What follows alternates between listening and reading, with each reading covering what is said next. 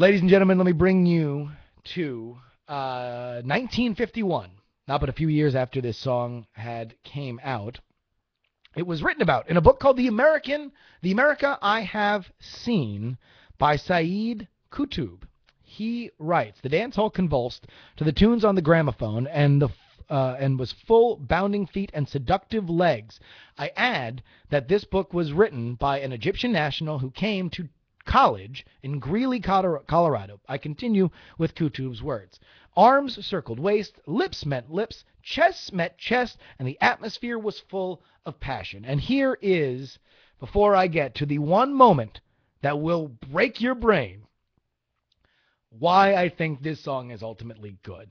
Not only does it tell a very, very specific story and maybe a dated story, but it is a sweet song at the end of it. And it gets to the root of a, of, of a romantic dynamic that, although people might not be comfortable with, and I will certainly concede to you, has not aged gracefully, is at least a, a story where people come together. It is a, a, cute yet seductive song, and that is a hard line to walk. There's a reason why it stayed around for so long, and there's a reason why it's so popular. It's a Christmas standard for a reason, and it deserves to be such.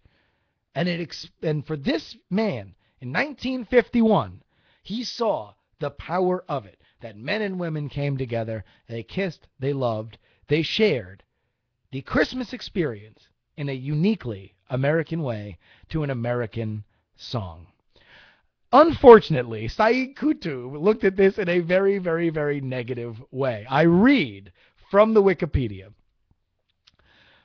Uh, and this comes from the only book you ever need to read uh, about a certain event, which I will reveal at the end. Uh, it's called The Looming Tower. Wright records how this song uh, helped the anti American feelings of Qutb.